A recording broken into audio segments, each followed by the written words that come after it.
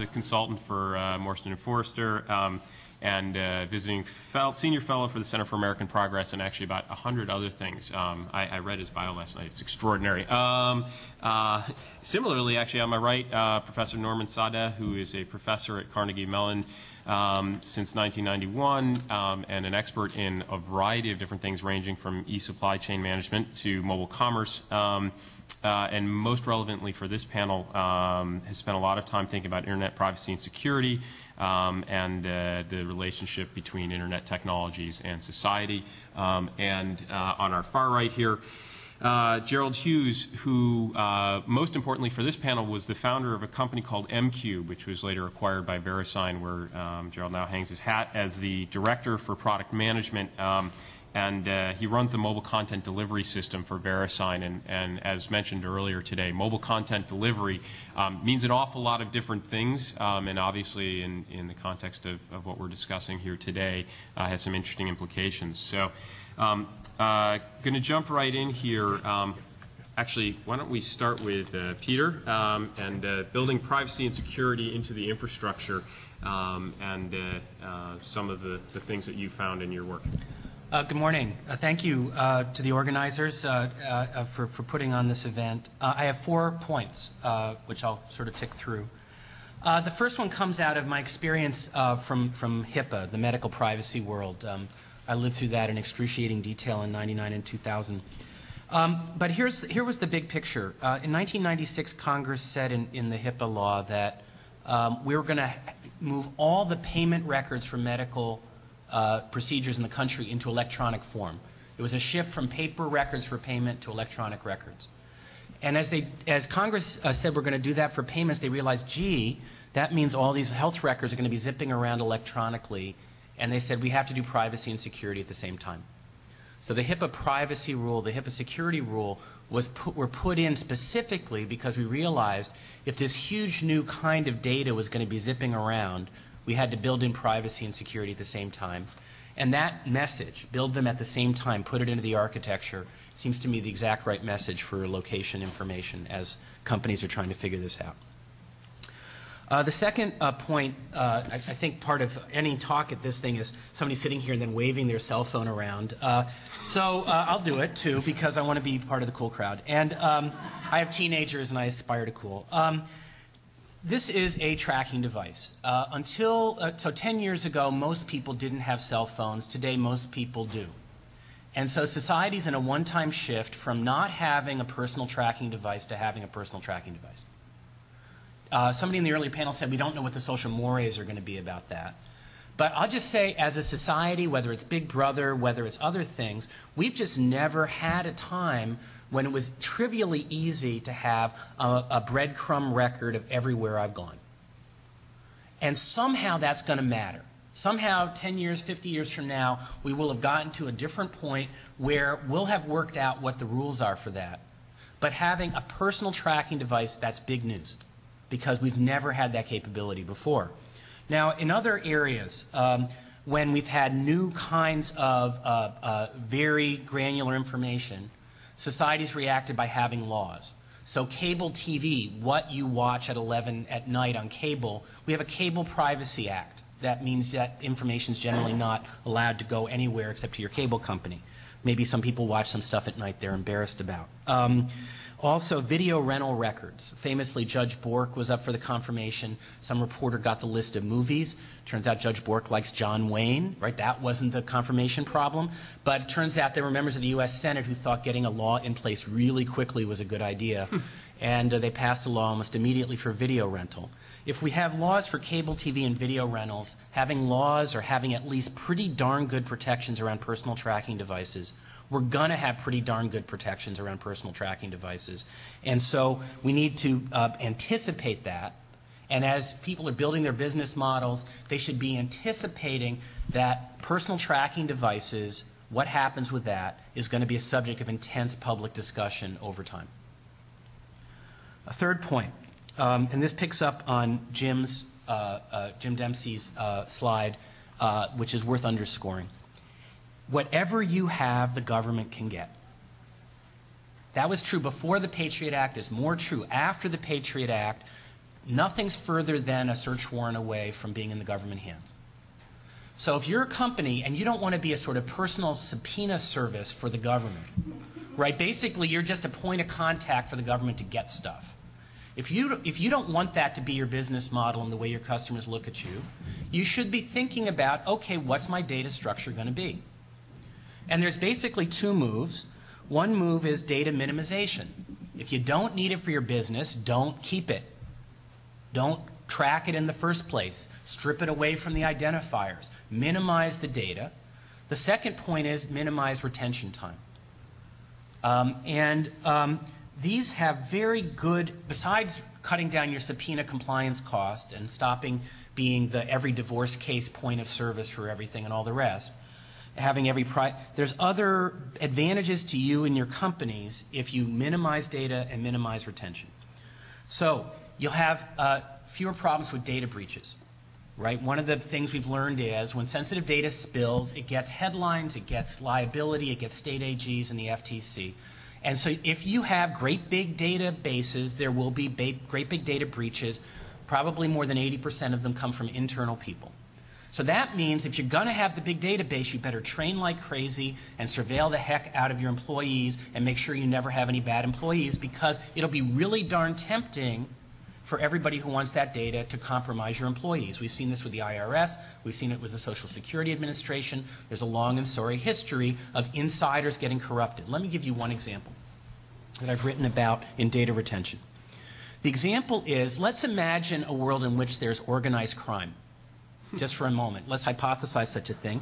And, and, let's, and let's imagine that you are organized crime trying to figure out um, things, and maybe you'd really like to have a, a, an up to the minute map of where all the police telephones are around the city right now as you do your operations. Right? So that would be a very nice thing. So if you have an in with the location tracking service, you could, in, in any time there's something important going on, track where the cell phones are for the police. Because anything that the police can use to surveil ordinary people, we can use back, in many instances, to surveil the police. And so now, at least if the police force thinks it's great to have these kinds of services, have the police IT people think, how are they going to protect themselves? And then suddenly they say, oh, that's actually a problem. Oh, we hadn't really thought about that. Oh, we need to have an opt out. And suddenly you start to move down the path towards minimizing data or not keeping the data or having internal checks in place.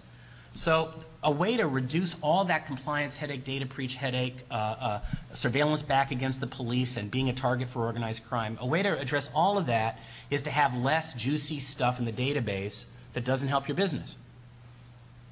Fourth point, and my last point, and then we'll go on to something happier than what I'm saying. Uh, there's a markup this afternoon in the Senate Commerce Committee of S428 that I just found out about in the last couple of days. Um, and the, uh, uh, the committee mark uh, which is subject to amendment. Um, uh, let's see. S428 has it will require NTIA, Telecommunications Information Administration, to develop a national plan which must quote uh, provide automatic location capabilities for all IP-enabled devices. So basically, this is a national plan that all IP devices, my laptop, my refrigerator, my car, whatever else, all IP-enabled devices would have location built in as a hardware mandate. And the, the law that's being proposed for this afternoon is to come up with a national plan to do that. That's a bad idea. it's a tech mandate. It would slow innovation in hardware and software. It would require tracking technology and location that's not linked to public safety, and it should be opposed. Senator Cantwell has an amendment that I've been told will be offered today. It should be supported. It says let's study when it's appropriate to do location tracking, but do not, as a matter of legislation, mandate all IP-enabled devices to become tracking devices. Uh, I, I, can't, I can't figure out a rationale for the current mark, except they just haven't thought it through. I hope that's true, uh, and it will be changed. Thank you, Peter. That, uh, very interesting stuff. And actually, uh, one interesting point um, Pete, Peter mentioned uh, that uh, in other other areas, so with medical records, uh, when when HIPAA became law, um, there were there were implications for all the service providers. We're already actually seeing this with, with location. Certainly the Markey Amendment turning location into CPNI was the first example of that. The one thing I would ask is there are FCC and FTC and uh, there are regulators and legislators in this room. To the extent that people start thinking about regulating and legislating, please come talk to the folks at CTIA and folks like uh, myself and our friends at Helio who who uh, who are doing this. Um, why don't we move here? Um, actually, uh, move to Gerald. Um, and this is a, an interesting uh, case. Normally, on a panel, you don't want somebody to uh, to explain exactly what it is they do. It comes off as sort of a, a product pitch. But um, in this particular case, we have no buyers um, in the room, and I think it would be of interest to people in the room to understand a little bit about the role within the technology infrastructure of the aggregators. Um, and uh, it would be it would be helpful, if Gerald, if you could explain a little bit about what m-Qube did, what it does, and what role it might play as far as location services in the future.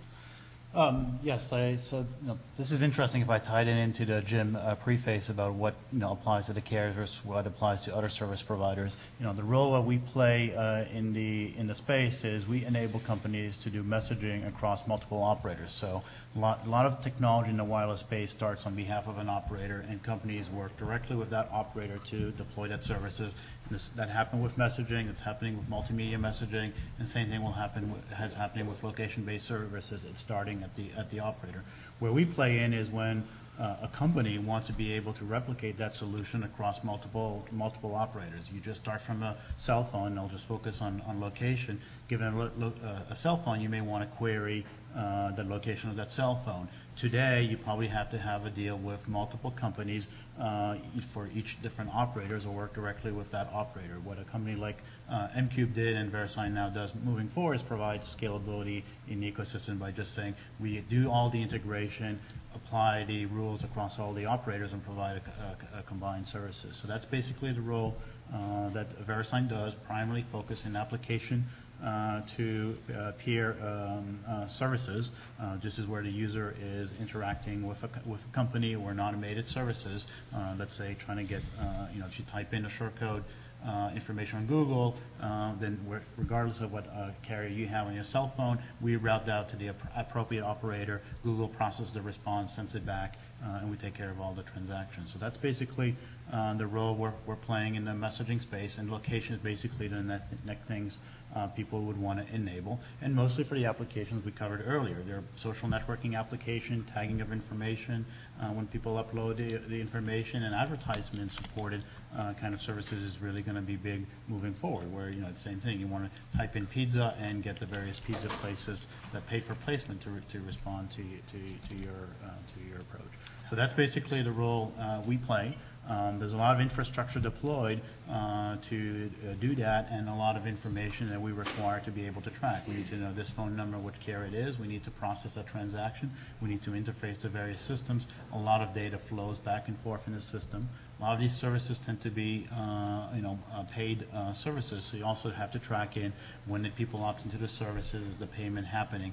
Uh, So that generates quite a bit of data uh, that's being used. So a lot of applic- uh, applicability to the, to the, just being described. Great, thanks, Gerald. Um, I think one of the more interesting questions that I, we, we will come back to here is is um, who should be aggregating this information, sh- or should anyone be aggregating this information? Should it stay sort of under the control of individual operators?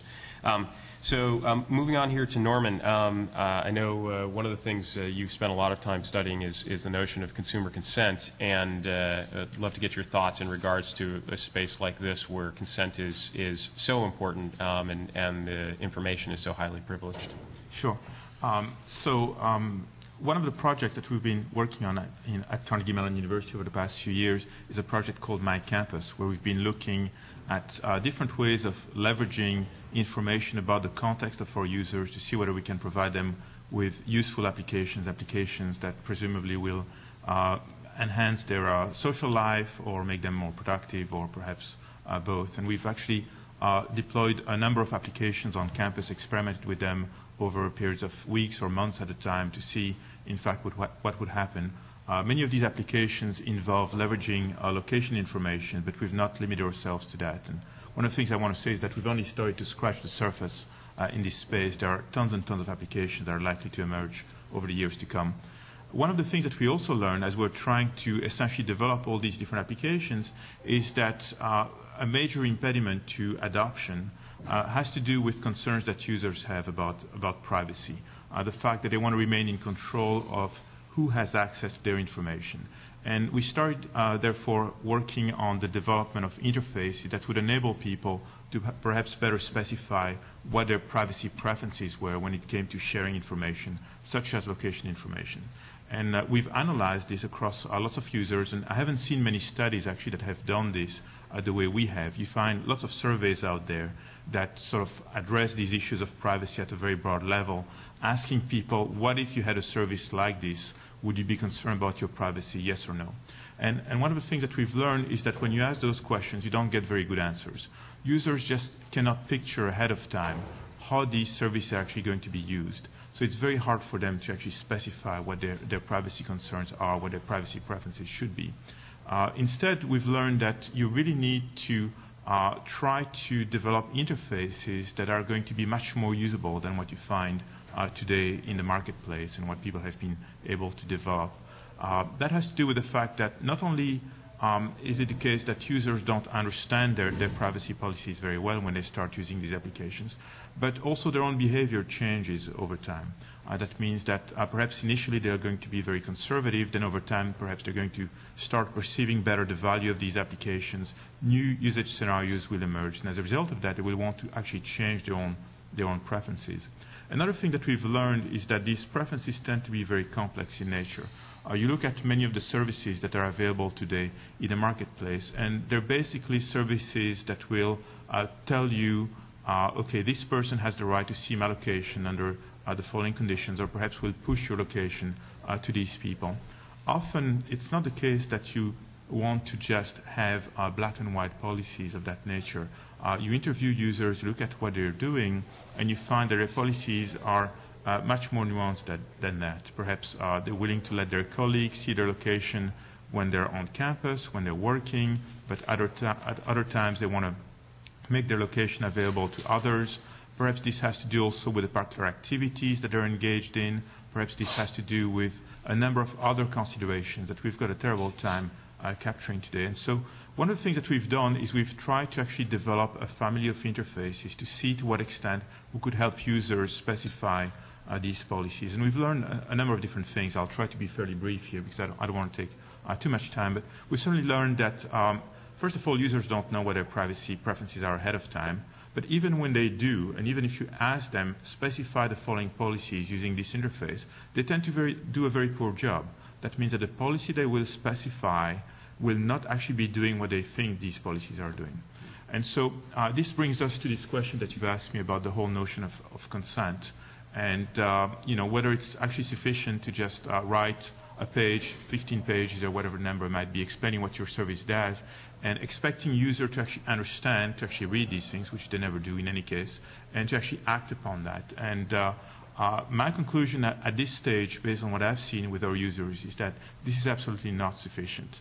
Uh, and it's not even sufficient to give them interfaces that will help them specify these preferences because they can't really do a good job they need a lot of help in refining these policies over time as they better understand the consequences of, of, uh, of what these services do, how they're being used by others.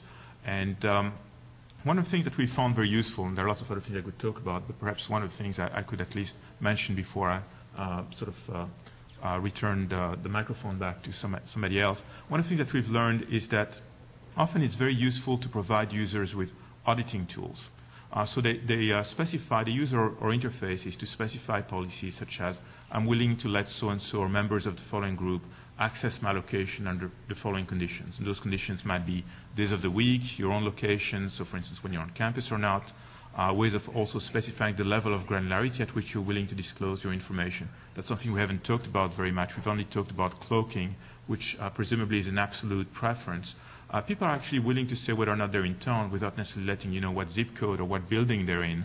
Uh, so you've got to deal with that. Uh, the technologies we have also enable you to support white lies. So pretending that you're the dentist when, uh, in fact, uh, you're on vacation uh, and, or interviewing for the competition. So those are the sorts of things that you could potentially specify if you had the right interface. The fact of the matter is it's very difficult for users to specify these things. And so one of the things that we found very useful, and that's the point I, I wanted to uh, conclude on, is, is uh, the introduction of auditing tools. So with auditing tools, one of the things that our users can do, for instance, with our People Finder applications, is look at the requests that have been submitted by others to access their location whether or not their current policies granted access or not, what were the conditions at the time of the request, when the request was submitted, and whether or not they were satisfied with that.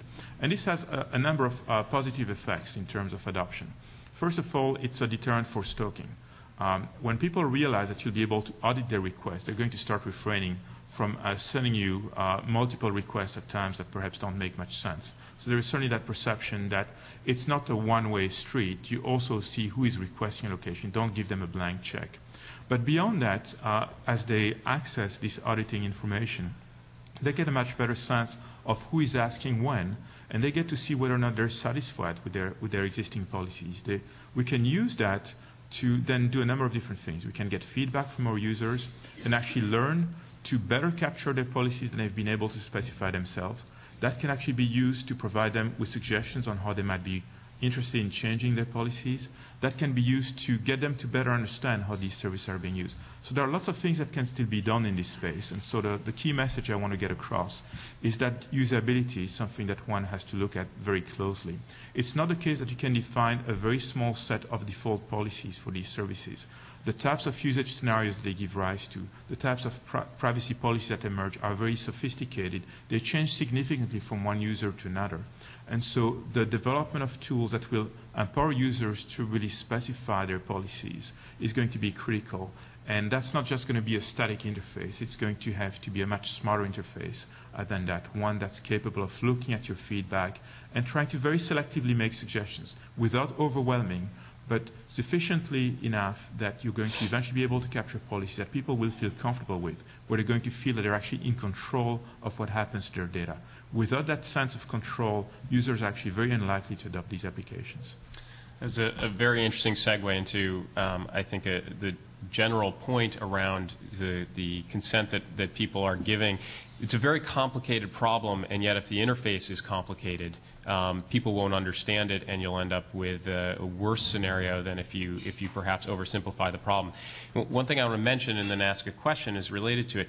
Um, Verizon has tried to solve the problem with location privacy, uh, working with a third party called Autodesk, and Autodesk has created a platform which is used for all of Verizon's location services, and and the the platform allows for you to set your preferences in terms of whether or not your location can be used on an application by application basis, but also, to Norman's point, about at what time of day. So it may be, for example, that if I'm using a social mapping service, I'm very, very comfortable with people knowing, people being the people that I've chosen, knowing where I am from 9 to 5, but not any other time of day, or perhaps during social hours from 6 p.m. to 11 p.m., but not during other times.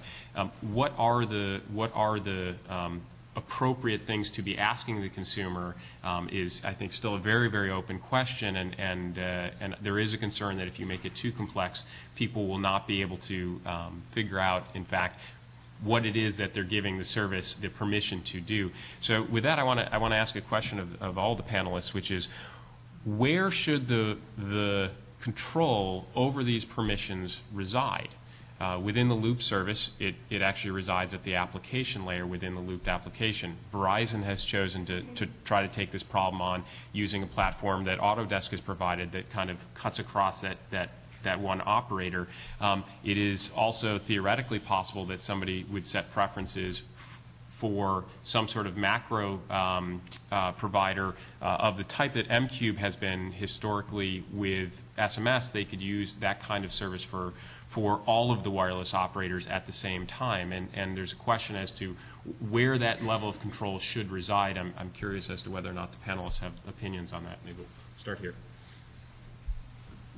Um, honestly, I don't have a, a strong view on where the control would reside. I mean, as I said, looking at this as I do, I tend to look at it from the Fourth Amendment or government access perspective. Um, if it's somewhere, the government will figure out quickly where it is. And uh, again, the question remains, what will be there when they come calling and what will be the standard applicable to their access? I think in terms of the design of the technology and the design of the business models, um, to me, one of the key questions that we've uh, otherwise has been talked about is can you run a service without storing a lot of information? And even before that, the question, can you run a service without even generating it at all, or at least without networking it at all? It's an interesting question about whether you push more of the functionality back out to the edges of the network. True user control, of course, is, is that the, that the intelligence resides on my device, uh, not in the network. So the telephone, the intelligence was in the network. The internet, the intelligence moved to the edges. Now we're seeing, I think, a reconsolidation of the intelligence back at the network level. Um, and I'm wondering if that, if it has to be that way. It's an interesting question. I can, I can also answer it from precedents that we have in the messaging space where, you know, we probably can rule out one option, which is it really is held by the content provider. And, and the rationale is, is very simple, which is there's too many of them. So you just take the breach of one of them to cause a lot of problem in the ecosystem. So generally speaking, um, well, it's good, and you may reach out to the content provider, and it's good to put it at the application level. That's probably not sufficient uh, once you get into the uh, thousands of content providers that are connected to the network. So after that, you're left with really two solutions. It has to happen either at the aggregation level or it has to be done at the carrier level. What we have historically seen is different uh, different operators have taken different policies. Some operators will decide this is really a critical information for their subscribers because in the end they will hold that responsibility to the subscriber and will take that responsibility in-house and that's basically how they're going to make that data available. Other ones may be more open and, to, and put that responsibility with the aggregators. There's only a small number in each geography, so they, they, you know, basically you can find them and they have an incentive to be part of that network, but it has to be in one or those two places. So I, I guess I'll uh, try to uh, see if I can strike something, uh, uh, a position in the middle. I believe it's got to be at all levels. One of the things we haven't talked about uh, very much is, is the complexity of the value chains uh, that we find in, in the mobile and pervasive computing space. The fact of the matter is that cell phone providers are not uh, by nature very good at, at developing content. That means they need to enter partnerships. They need to enter partnerships with organizations that are going to develop the types of applications that will leverage uh, information such as uh, location information. And uh, they certainly have very strong incentives uh, in principle to do that, but they will also want to make sure that this is done within a context that doesn't uh, necessarily endanger uh, their users. So they will certainly want to have some level of control at their own level. But by their very nature, the variety of applications that we're going to see emerging over time will lead to very different sets of usage scenarios. And it's very hard to actually define uh, privacy preferences that are generic and extend across all these scenarios. As, as an end result, you're going to see a need for also defining uh, privacy policies at the level of these individual applications. There's just no way out. Uh, the, the challenge will be to see how many of those applications we can uh, practically deploy and, and yet, in fact, um, support users as they specify all sorts of different policies across different applications. It's a major burden on the user and uh, potentially a major impediment for the uh, adoption of, of these applications. Uh, it's, uh, one analogy that I like to use is uh, when you drive your car, it's not the case that you need to exactly understand everything that's going on under the hood. Uh, and and uh, yet, with just a few gauges, uh, people seem to feel comfortable enough and they go ahead and, and they turn on the ignition and they start driving because they feel that they've got enough control over what's going on. And I think the challenge will be for all these various applications and this emerging ecosystem to actually figure what those controls are. Uh, Very interesting point. That the hybrid model does seem to be the one that the industry is, is moving towards, at least right now. If uh, there are services um, launched on Verizon, for example, they have to go through the Autodesk platform, but then there are a separate set of permissions kind of within the application, and, and hopefully it doesn't become too burdensome for the consumer, but I think we're just figuring that out. We are unfortunately running um, very late on time. I think maybe we have time for one question. Do the two. I have not considered auditing uh, previously as a handy solution to inform, perhaps more importantly, update consumer uh, consent and, and awareness. But it seems that seems that for auditing to be effective, it would clash with the goal of data minimization. How extensively has the industry uh, considered this option, the auditing option, as a way to deter stalking and sort of inform and maintain current consent? And if, if not, what would you consider the minimum amount of information necessary to be stored to make auditing both uh, realistic and an effective uh, solution for consumers? So the, the, question was addressed to industry. I'm not from industry. I'm, I'm, with university, but I can certainly tell you from our experience where we are, and, and we're still learning as, as we go. Uh, one of the things that we've learned is that uh, things that happened a month ago are not very useful when it comes to auditing. People just have very poor recollection of what the situation was and, and what they really wanted to do. So the amount of data that you actually need to collect for the purpose of auditing is somewhat limited. Uh, what the ideal uh, length of time is, I, I, don't have a final answer uh, to that, but I would expect that it's in the order of about a week, and, and beyond that, I think that the usefulness, in fact, uh, goes down very quickly. Just uh, so another name for auditing is consumer access to their own data, which is part of the standard set of privacy protections that you have here and in Europe and other places. Um, and uh, again, the point was fairly limited amount of data could give me a pretty good audit trail of who's been pinging me, how many times, et cetera. And that's really about me and, and for, for me, the consumer.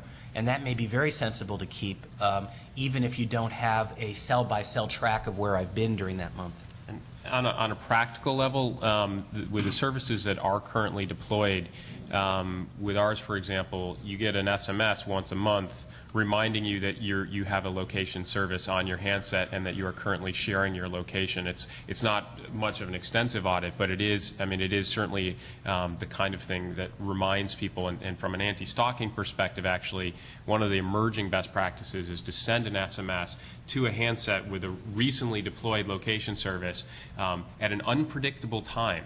Um, so that the if somebody has put this onto somebody's phone, say unwittingly, it can't be picked off, um, and do this several times, send an SMS, letting the person know that there is in fact a tracking service on their handset, and more importantly, how to turn it off if uh, it's not something that uh, that they actually want on their phone. Um, and uh, that that has started to emerge as kind of one of the things industry is doing. All right, we've got time for one more question. Well, I, yeah. And, I'm sorry. While, you, while she's getting the mic, one of the one of the byproducts of the movement of information out of the home, off of the laptop, out of your control onto the networks is that not only can the government get it under a lower standard, but they can get it without notice to you. Um, so one of the important Fourth Amendment protections is notice. If the government, even if it serves a subpoena on me, it, I know what's happening and what's going on. One other totally different model of approaching this is not, not raising the standard for government access, but providing the notice, contemporaneous notice, which I think has a huge, and it is applicable in the non-governmental arena as well. I mean, if, if, if the people that I Google knew I was Googling them, I think I would Google fewer people.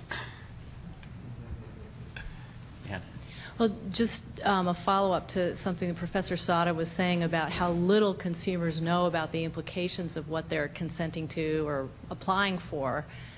This may sound a little ingenuous, but have you tested um, sort of scenarios with consumers like um, ex-boyfriend stalking you, ending up stalking you, or ex-friend ending up sharing photos of you, just sort of, uh, you know, seeing if something in their lives would sort of trigger intelligent responses? So actually, we've tried. It, it's very challenging to reproduce those types of, of uh, behaviors. So a lot of what we do involve uh, field studies where we deploy real devices with real services. And in that context, it's very hard to obviously reproduce the, the types of scenarios that you're talking about. So we've also done lab studies where we actually uh, had uh, forms, online forms that people would go ahead and, and fill uh, describing information about their lives, who their friends were, boyfriends, and, and the like, and then uh, randomly generated scenarios, including scenarios that are sort of uh, fairly unique that you're unlikely to catch in a pilot with uh, 20 or 30 users uh, for a few weeks, but that you can actually generate to try to see what sorts of, of response they would have. And uh, we've, we've seen some obviously interesting results, the sorts of results that you would expect to see, that people are clearly not very comfortable with those types of situations. But uh, we've all, always been wondering to what extent that data uh, was really uh, credible, at least to analyze some of the other issues that we're looking at in terms of what it takes to properly capture people's policies, just because it's so hard to really replicate realistically those scenarios. It's one thing to say, well, this is what happens, what would you want to do? Uh, it's another thing to actually see that happen in, in reality. So those are scenarios that are very hard to, to uh, actually scientifically study. Peter, Peter's just got one sentence and we'll wrap up here. Um, uh, Loretta Garrison from the FTC is here, and she was one of the people leading the financial regulators' effort to figure out how to do privacy notices around financial records. And they did, a, they did focus groups, a bunch of state-of-the-art on research. And so that's one area where the complexity of financial services got really studied about how to do notices and consent. So I commend you to the FTC and the other banking regulators on that. I think that's it.